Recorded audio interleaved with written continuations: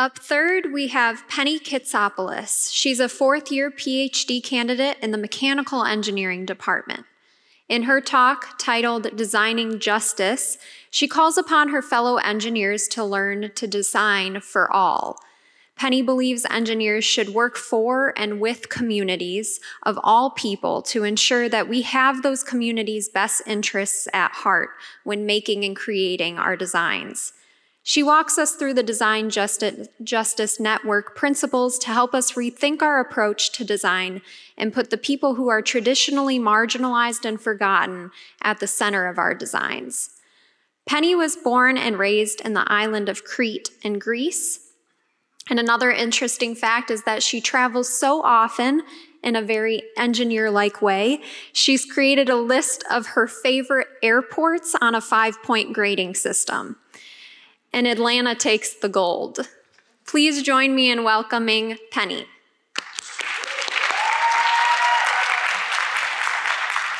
Thank you, Chloe. And I know the Atlanta is a controversial opinion, so you can talk to me afterwards if you need the details. So, I want to first start by asking you the following two questions What are engineers, and who do they work for? Are they scientists, creators, inventors, designers, or all of the above? Would they work for the government, a business, a university, themselves, or once again, all of the above? I want to convince you that it doesn't really matter what our definition of an engineer is or who they may be employed by. What truly matters is that engineers work for and with communities of all people throughout their engineering tenure to ensure that their decisions, their designs, their architectures have those communities' best interests at heart.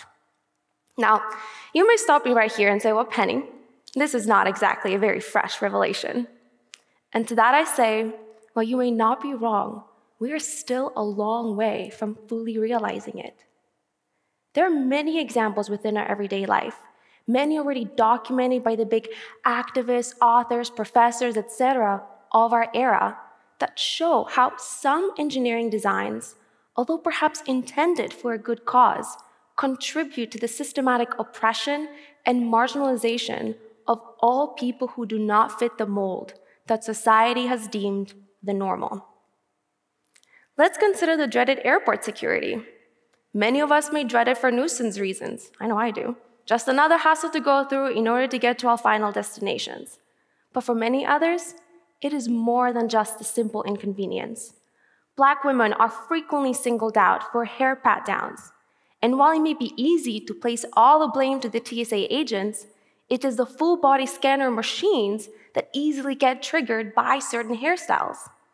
And there are many more examples using these machines alone that show how disproportionately only certain people are affected, such as trans individuals, people with disabilities, and people who wear head wraps for religious reasons.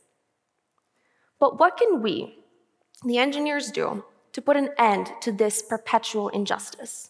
Lucky for us, I'm not the first and the last person to ask this question.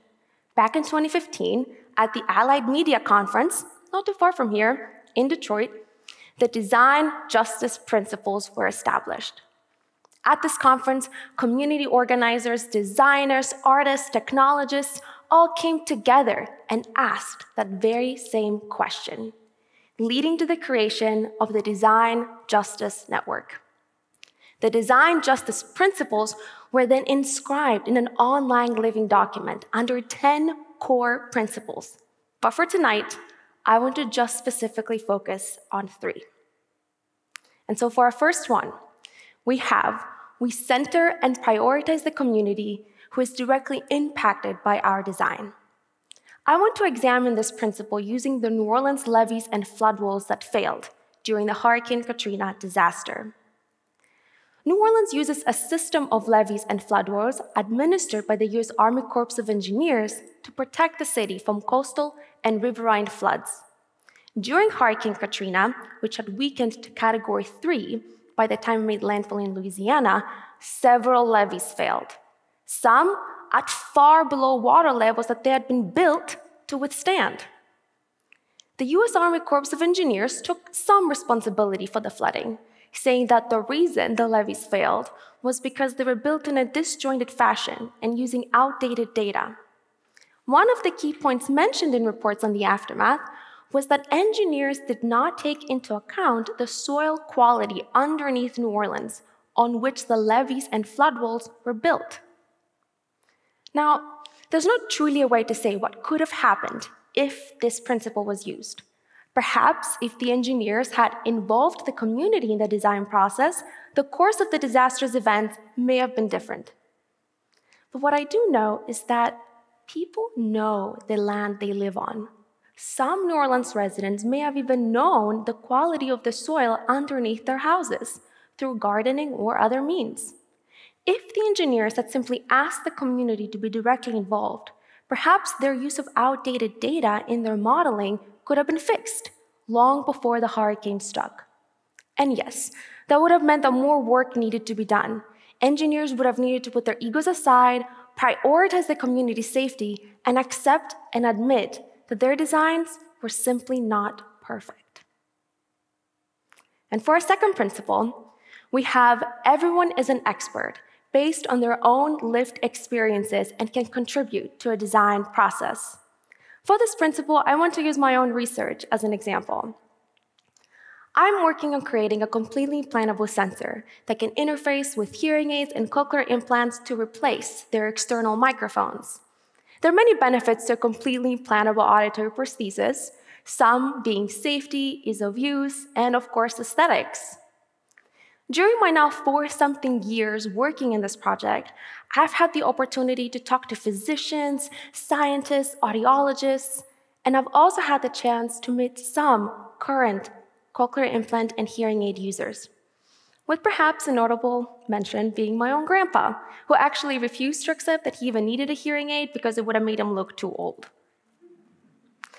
But apart from all of that, as I was writing this speech, I started reflecting on the fact that I really should do more to include people with these lived experiences in my own research.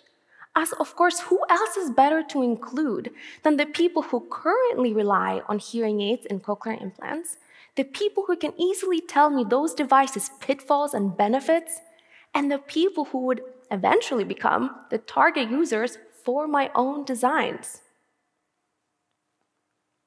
And for our last one for the night, before designing, we look at what already exists and we honor and uplift traditional, indigenous, and local knowledge and practices. Basically, there is no need to reinvent the wheel. Sometimes it might be tempting to design something fancy, but if the community we are designing for already has a solution that meets their needs, then it might just be worth going to that community and asking them what works best for them and maybe how we can help uplift their current solution. As I said, we can always design something cool, but if the design is not helpful or useful, then what is really its purpose?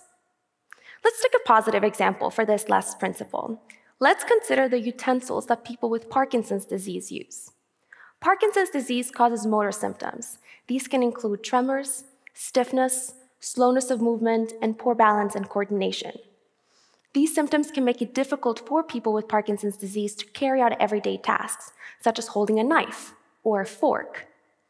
The community has found that using weighted utensils help with the tremors, and having a handle or a strap helps with a better grip.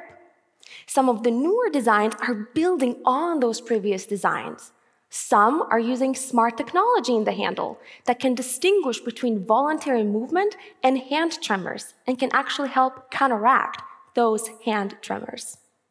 All these specially designed items may help people with Parkinson's disease maintain their independence and improve their quality of life. Now, all these principles that I've described can actually be used in many other fields beyond just engineering.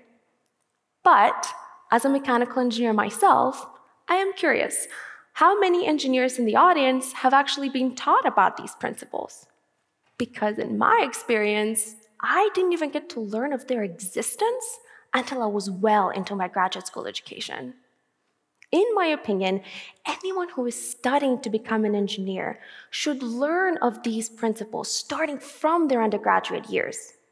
Incorporating the design justice principles in those early days fundamental courses would one, stress their importance in the engineering field, and two, allow students time to learn how to use them effectively, because it is much easier said than done, unfortunately.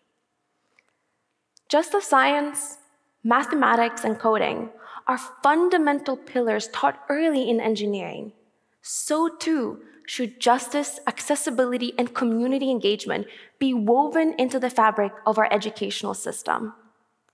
Thank you.